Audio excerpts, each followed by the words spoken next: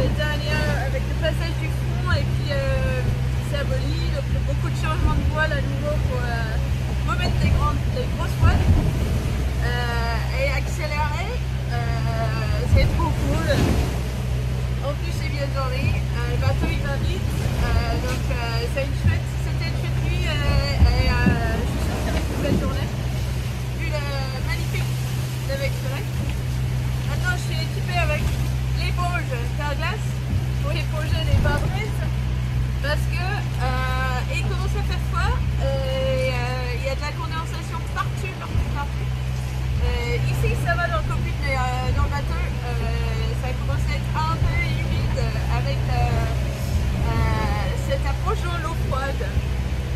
Donc euh, voilà, très joli.